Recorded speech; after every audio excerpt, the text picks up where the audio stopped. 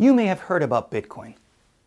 In case you haven't, a Bitcoin is a type of digital asset that can be bought, sold, or transferred between parties securely over the internet. Because of this, Bitcoin can be used to store value, much like buying gold, silver, and other types of investments. But unlike those other types of investments, Bitcoin also serves as a form of digital currency, and you can use it to buy products and services as well as make payments and exchange value electronically. However, different from other types of traditional currency, such as dollars or euros, which you can also use to buy things and exchange value electronically, there are no physical coins for Bitcoin or paper bills. And when you send Bitcoin to someone or use Bitcoin to buy anything, you don't need to use a bank, a credit card, or any other third-party type of clearinghouse.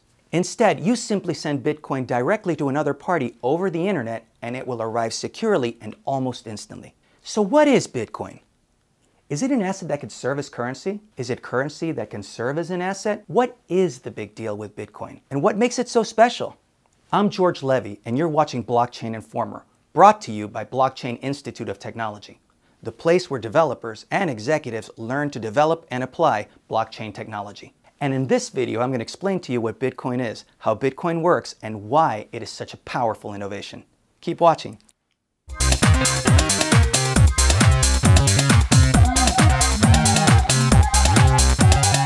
Whenever you send an email to another person, you simply type in their email address and you communicate directly with that person. It's the same thing when you send an instant message. This type of communication between two parties is commonly called peer-to-peer, -peer, and it's how people communicate every day over the web. You can send photos, videos, and other types of files easily and quickly over the web. However, whenever you want to send money to someone over the internet, you need to enlist the services of a third party, such as a bank, a credit card, PayPal, or some other type of money transfer service. You can't simply just attach some money to an email and send it to someone like you would send a photo or some other document. Why is that? The reason is that whenever you do a transfer of value between two parties, you need to ensure that a real transfer has taken place. In other words, you need to be able to verify that both parties have done what they need to do in a real exchange. For example, if I send a photo I like to another person, I can simply attach that photo to an email and send it. The other person will receive the photo, and that's where you think it would end. But not quite. We now have two copies of the photo, the one I sent by email and the original file, which is still in my computer. What I really did was email a copy of the file with the photo, not the original file.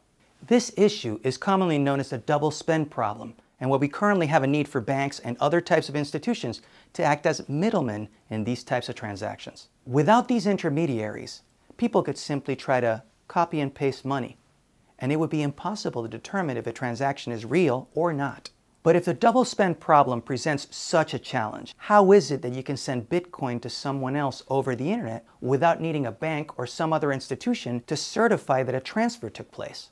The answer lies in a global network of thousands of computers called the Bitcoin network and a special type of decentralized ledger technology called blockchain. Blockchain is one of the key technologies that underlies Bitcoin, as it keeps a decentralized record of all the transactions that have ever taken place on the Bitcoin network.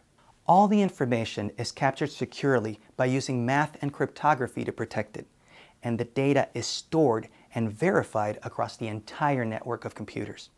In other words, Instead of having a centralized database at a third party such as a bank to certify that a transaction took place, Bitcoin uses blockchain technology across a wide, decentralized network of computers to securely verify, confirm, and record each transaction.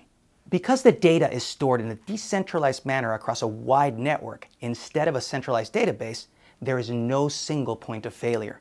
This makes the records which are stored on blockchain more secure and less prone to fraud, tampering, or a general system failure than keeping them in a single centralized location. Thank you for watching. If you like this video and want to learn more about how to develop and apply blockchain technology, make sure to visit blockchaininformer.com and sign up for the free email newsletter. Until next time, I'm George Levy.